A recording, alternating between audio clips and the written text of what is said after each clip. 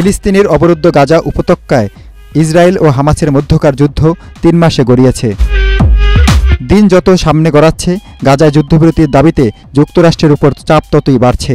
এমন পরিস্থিতিতে গাজায় যুদ্ধ শেষ করতে ইসরায়েলকে সময় বেঁধে দিয়েছে প্রেসিডেন্ট জো বাইডেন প্রশাসন। বৃহস্পতিবার মার্কিন সংবাদ মাধ্যম ওয়াল স্ট্রিট জার্নালের এক রিপোর্টে বরাদ দিয়ে এমন তথ্য জানিয়েছে আল জাজিরা।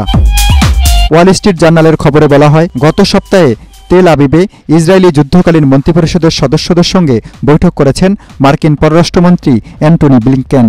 ওই বৈঠকে তিনি বলেন, বাইডেন প্রশাসন মনে করে এই যুদ্ধ আগামী কয়েক সপ্তাহের মধ্যে শেষ হওয়া উচিত।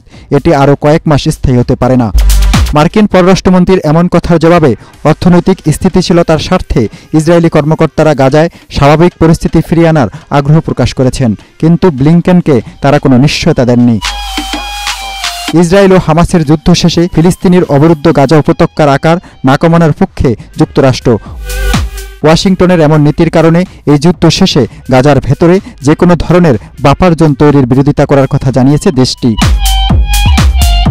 কেননা এতে তেইশ লাখ মানুষের গাজার আয়তন আরও কমে যেতে পারে। গত সপ্তাহে রয়টার্সের এক রিপোর্টে বলা হয়, যুদ্ধ শেষে গাজা উপত্যকার ভেতরে একটি বাফার জোন তৈরি করতে চায় ইসরায়েল। এরই মধ্যে যুদ্ধ পরবর্তী এই পরিকল্পনার কথা বেশ কয়েকটি আরব দেশকে জানিয়ে দিয়েছে তেল আবিব। মূলত গাজা থেকে নতুন হামলা ঠেকাতে এই বাফার জোন তৈরির প্রস্তাব দিয়েছে নেতানিহু সরকার।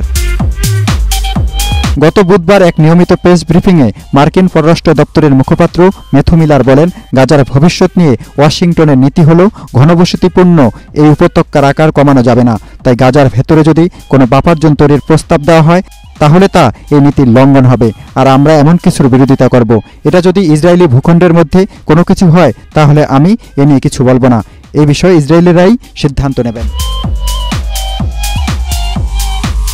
গত সাতই অক্টোবর ইসরায়েলে নজিরবিহীন হামলা চালিয়ে বারোশো ইসরায়েলিকে হত্যার পাশাপাশি দুই শতাধিক ইসরায়েলি ও বিদেশি নাগরিককে বন্দী করে গাজায় নিয়ে আসে ফিলিস্তিনি স্বাধীনতাকামী সংগঠন হামাস।